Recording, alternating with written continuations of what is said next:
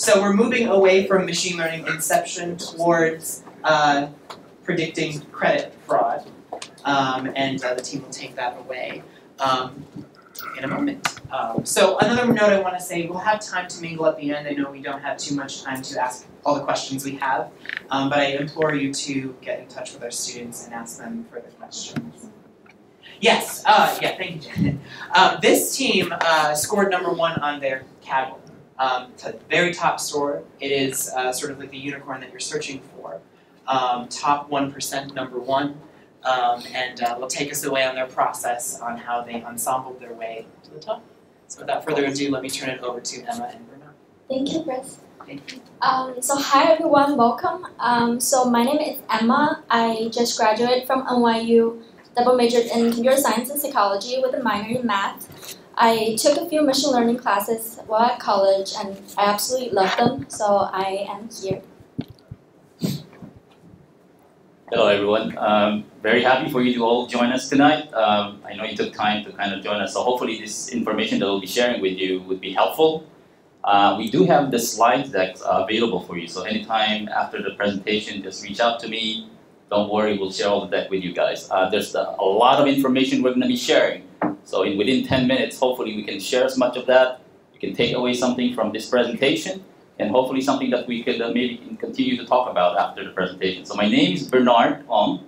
Um, I work in mostly Fortune uh, 500 companies, Citibank for a couple of years, Citibank Tokyo and uh, New York.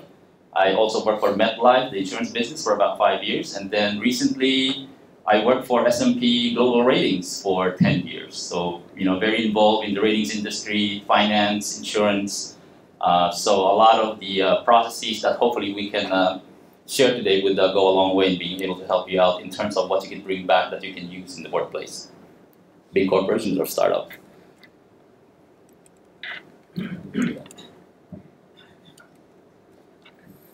Okay, so we chose a Kaggle competition. It's a close competition uh, for a couple of reasons. Uh, one is we want to be able to, within the course of three months that we have learned all these models, everybody can learn the models, technicalities, the math, you know, how all the formulas and algorithms are, but it's really a very different world out there when you try to actually implement it. Uh, most likely, when you encounter a lot of uh, people who know machine language, uh, machine learning, basically you, they know all the models. And the key is how do you actually use it produce literally results at the end of the day. When you have time constraints, constraints of resources, you got to coordinate a team. What's the process? What does it take? Um, everybody might have already heard about agile process, so we're going to talk a little bit about what that represents in the context of machine learning. Uh, it's a little bit different when you do, uh, you know, uh, basically uh, agile for traditional software development lifecycle and actually te technology delivery. For machine learning, we're going to share a little bit of this, what, what this represents. So we took a, a closed challenge, which is basically predicting consumer debt default.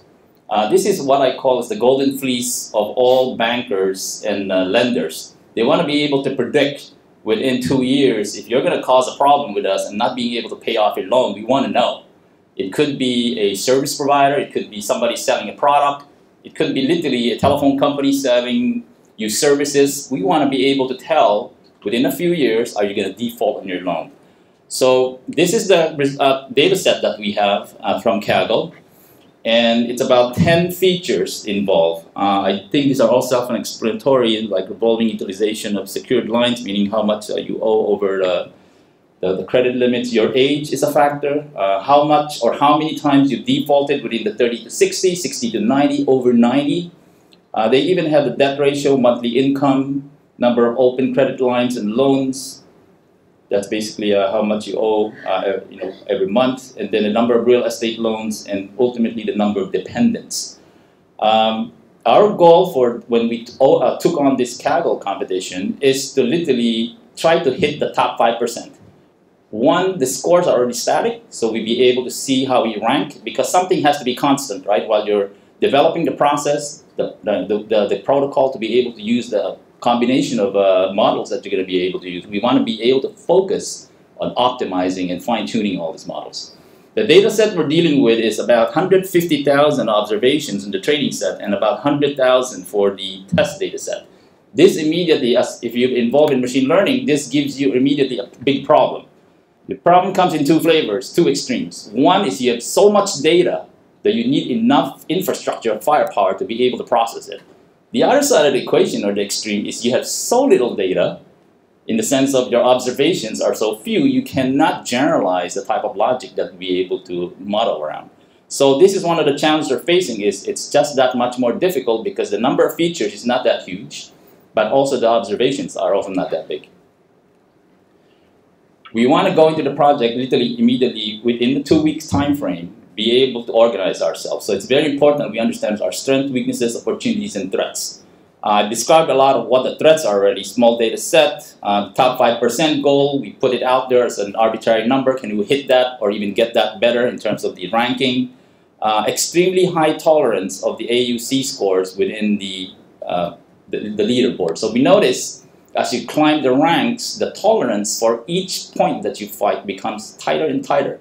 We're literally in a Kaggle competition, if you've done one before, uh, when the tolerance are so few, you're fighting literally for the 10,000 or 100,000 of a point to climb the ranks. We experienced that firsthand. It was extremely excruciating. We're going to share a little bit of what that represents. In terms of opportunities, we want to be able to apply what we learn in terms of not just models, but being able to go beyond models, right?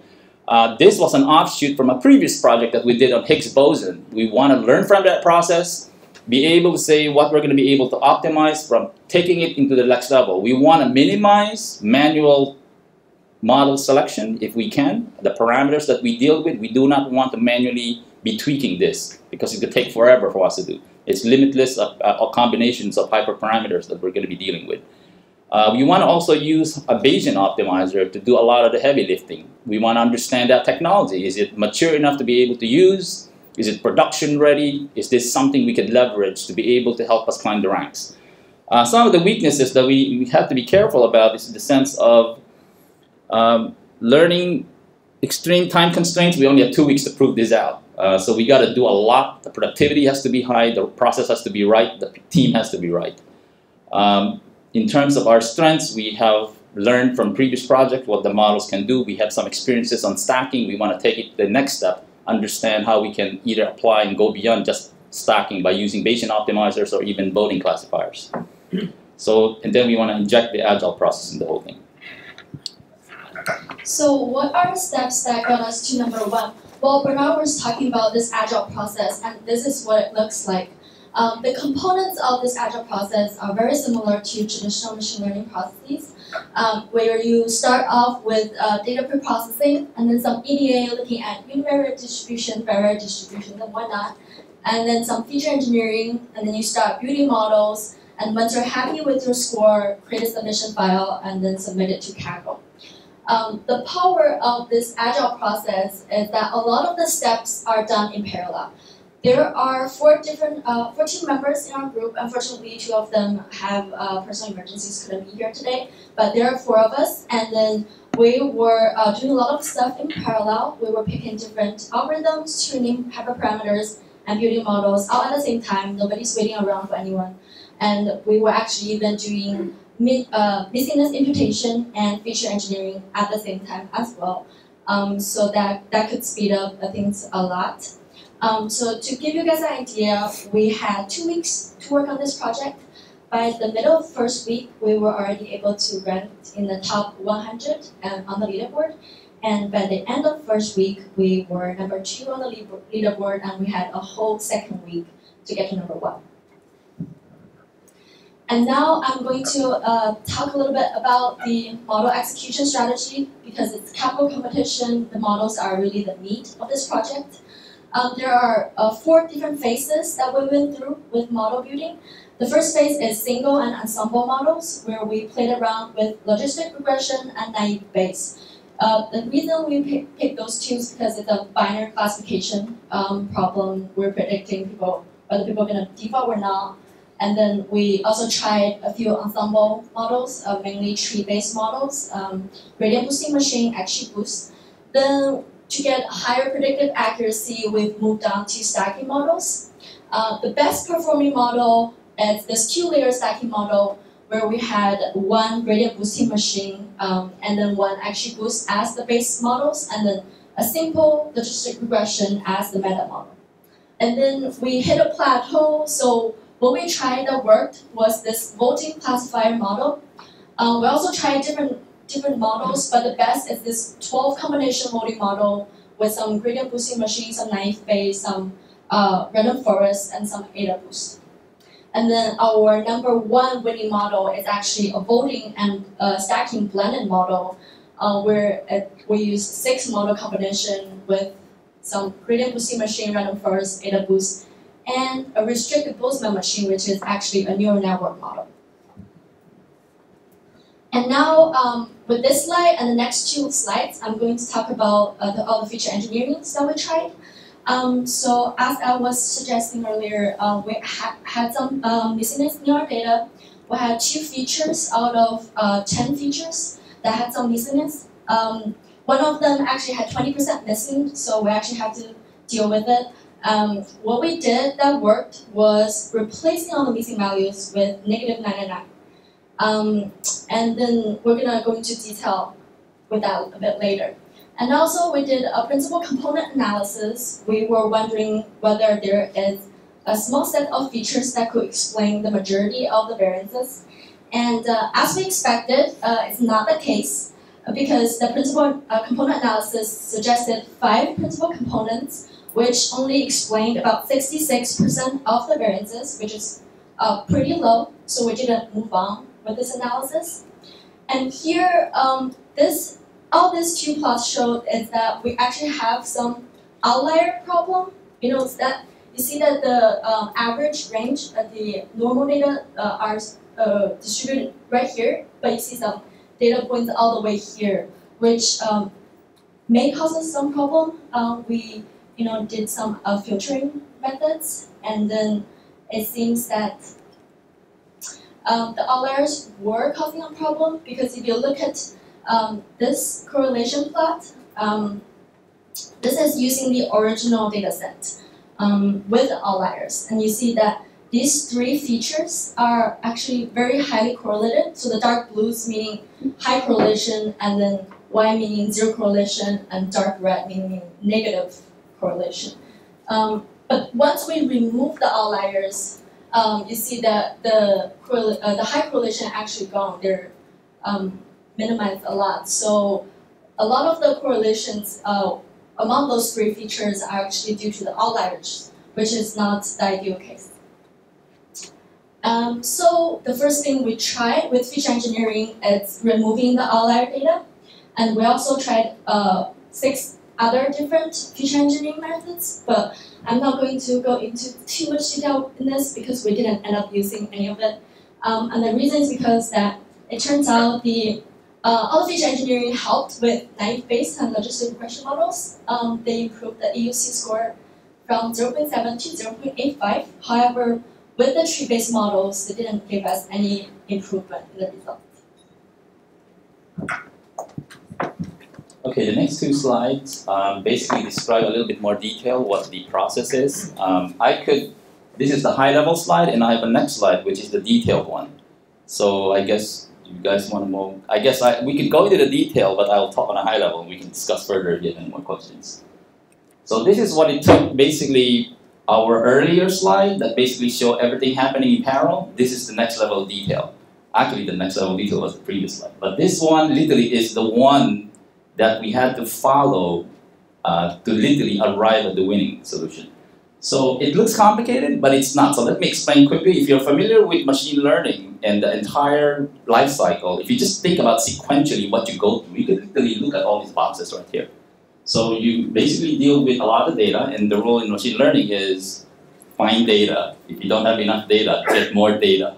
If there's no more data, invent more data. If you can't, morph it into more. That's why we try, along with everything else that's going on. But understand that just under, doing the feature engineering, which is really, you know, I, Emma just talked about the seven types of uh, feature engineer set that we did. Understand also we're dealing with missing data imputation, right? So we're trying all of that. This entire process, what we want to basically relay is that we're doing all of this in chunks. I think chunking is a key process here, right? Understanding that you have to chunk your work in pieces at the same time that you're doing everything in parallel. So as the imputation is being done, the results of those imputations are being passed through all the stages there, while all of this is happening at the same time. The same thing when the feature engineering, we had you know one of our folks, uh, Trinity, who is also doing a lot of feature engineering set. As new feature engineered data sets are coming through, we're also feeding that through all the type of models that's going through across. So we're dividing the entire work in chunks, going all in parallel, but having the top-down approach of feeding things. And as we find optimal points within all these tests, that's what we're kind of surfacing as the next step that feeds into the next process. So we went from doing the missing data imputation to feature engineering. I think we discussed a little bit about what that represents. Uh, it's always good to start with single model ensembles. Um, I always say that you know start with the basic. If you can optimize the basic, understand how missing data or featured engineer sets through act with your basic models, you get a health and heartbeat of the entire data. You want to understand how it behaves, how it reacts when you input a certain parameter or when you change it. How does the data behave? And the reason we can also do single model a little bit easier is because some of these actually computation efficiency is very high.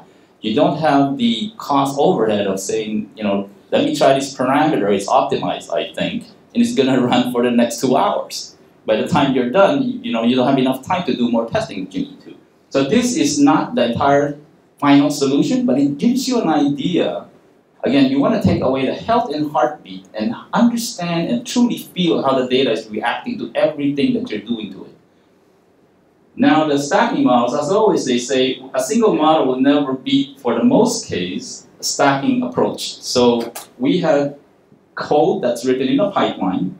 See this vertical piece here. Uh, what we used to do manually, you do not want to manually tweak literally parameters. So the number of combinations you're going to deal with in terms of especially the stacking ensemble and even the voting or you know the deep learning model also number of parameters and you know the limitless in almost in the combination that you can try. So there is a Bayesian optimizer tool out there. There's four ways of doing optimization. I'm not sure if you're aware of those four. It's the random search, grid search, Bayesian, and actually a, uh, a gradient base. The gradient base is not quite there yet, but Bayesian optimizers, there's actually source code out there. I would encourage you, highly encourage you to actually take a look at this. It's very useful. The source code is available for you to use. Uh, so we use this to run all these models and be able to come up with a subset of parameters that are optimized for the data set we're training against. So for the single model, these are, I'm not going to go through it in detail. We can talk about this maybe after the meeting, but we have tried all these models and see which ones stood out based on the optimal ones. What are the top ones we can choose to be able to use against our data set? And as these are being formed, all this information also feeding to the stacking side. The stacking, uh, the, the thing to remember about stacking is we can't just throw different models on it and keep on stacking, and the more we stack, the higher the score goes. It doesn't work that way. You got to be able to understand again what you know what you start with in terms of the stack. What models works the best with the data set that you have. That all comes from how you are literally testing your single models, understanding what they represent, and being able to stack against that. So what's interesting is we hit the limit, as Emma was saying earlier, we actually spent about a third of our time within two weeks doing the stacking model. We actually hit a maximum, no matter what we do on stacking. And everybody thinks, oh, XGBoost is the best. Every time you do XGBoost, you're gonna win, win Kaggle competitions. In this specific scenario, not exactly the case. Um, so what we did was uh, we had a parallel track going on on voting classifiers. What's interesting is this actually boosted our score way past what a stacking model could do without XGBoost. Right? So you can see the, I mean, we still tried it with XGBoost just to see if it will work. Didn't work for the most part. We're hitting a limit. So there's something there about XGBoost that's causing a, a ceiling to be hit. When voting classifiers came in, we hit literally climbed the ranks quickly, and the combination you can see what we used here. We actually ranked number two. The rest of the two thirds of our time was trying to go from number two to number one. That was the most excruciating, painful process that we had to go through because we're fighting the point literally of about almost ten thousandths of a point. That's how we're kind of climbing through. So ultimately, we were saying, you know, and, and at the same time, we're also doing the uh, Keras uh, Theano deep learning. We want to use that as a contingency to see if all, all else fails, can we use the deep learning model to climb the ranks? Again, all of these are happening in parallel. That's why you see all these arrows feeding across, because number one, the secret of all of this is chunk your work out, do things in parallel, and be able to feed things that you optimally feel are being set into the, into the pipeline. And our code, the code that we wrote also reflects this process. It's very important you have a framework that literally drives this entire thing. You cannot hard code stuff when it actually runs sequentially. You're not going to be able to get past, especially in a corporate environment or startup, where you're asked to deliver at the end of the day on cue. Within three weeks, we want a prediction that you have, and we want it at the accuracy level of this and the precision level of this. This is the type of framework that you need to be established right off the bat and understand what this represents. So hopefully you can take this out to your, to your place of work and be able to take advantage of what this represents. Ultimately, it took the, uh, the voting and stacking model combined to be able to do this. Uh, if you're familiar with boosting, boosting tends, not all the time, but they tend to be a bit you know, better on the bias side, right, on the accuracy level. So the the, the data that we had, somehow it's hitting a, a, a big uh, top, and we can't get past second to first place. So we thought there has to be something in there that would actually hopefully increase the precision side, right? So we were thinking, well, the precision or the variance piece, usually bagging works really well. So we tried some of the bagging methods, didn't quite work. Um, there was one piece in the, if you're familiar with scikit-learn, there's a neural network classifier that we actually tried. And interestingly enough, when we ran that, we noticed that the, the accuracy level was not that high, but the precision was hitting it on the mark. This is this when that happened, that was the eureka moment that we acquired and say, wow, this is this, this is maybe the light bulb that we need to be able to fire off this one.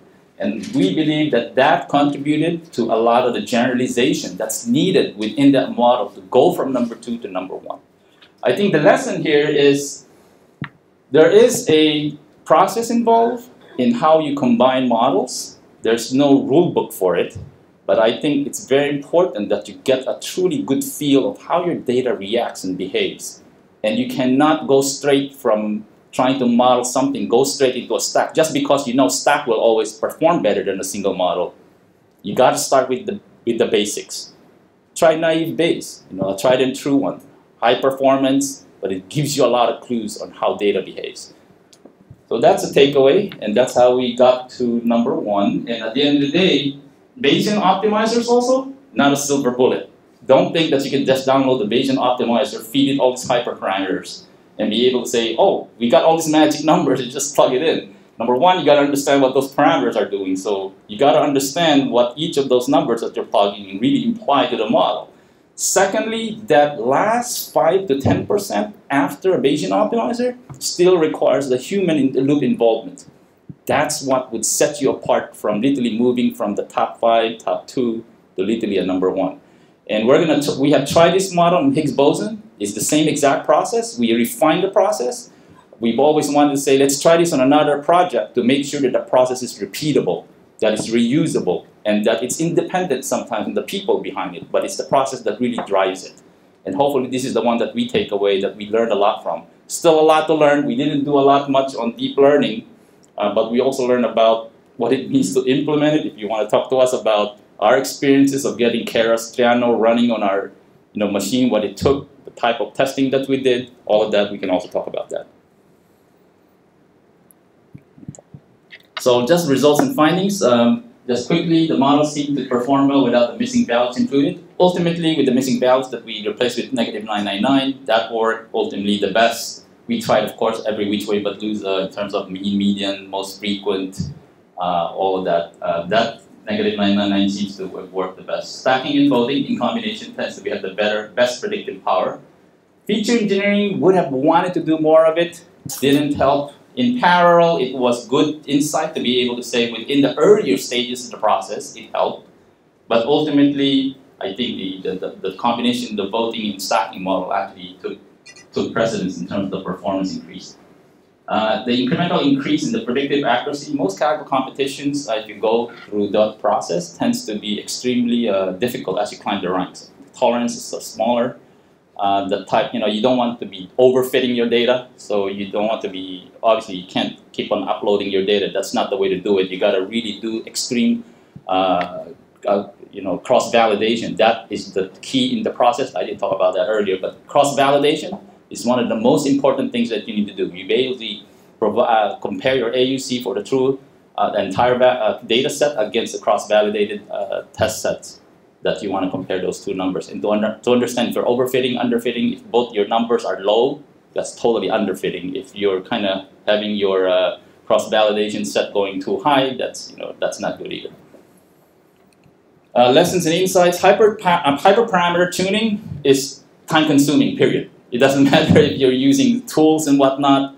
Uh, I wouldn't recommend obviously a grid search. A grid search maybe for some parameters is great, but in practical reasons, you really want to use Bayesian optimizer. And we're looking forward if the Gaussian based one comes out. We want to be able to use that, but allocate some time for this. Uh, hyperparameter uh, optimization does take a long while, so you got to be selective how you're applying this when you're using it and be able to understand what those numbers that it spits out mean. Uh, cross validation, as I've already said, it's very critical for the entire process um, model gets to be tuned by a much more granular level as you climb the ranks. And agile process, the process is very important. Uh, the people, process, projects, and technology, all those four things, vertical, deeps, deep uh, curves, all work together seamlessly. So you got to have all those four down pat. Uh, any one of those that falls short will actually impact how you implement the machine learning projects within your company. Um, so as Bernard was saying earlier, we tried these learning models, um, didn't really work. Best ranking we got was 500 something. Um, it was really mediocre, especially considering there were only about 1,000 teams submitted. Um, we tried sequential uh, neural network, which may be the reason why it didn't work really well. So we want to maybe try convolutional neural network and maybe a recurrent neural network. Um, also, feature engineering, everything we did seemed to work for uh, logistic regression and naive Bayes, so it suggests that we're on the right track, but not enough to uh, boost our score. And this is our number one screenshot. So on that note, thank you very much for your attention.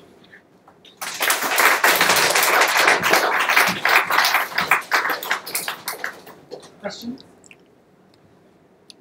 I have a question about the agile process. So suppose uh, take two examples uh, take one example, two-step, the feature engineering and the statistical model.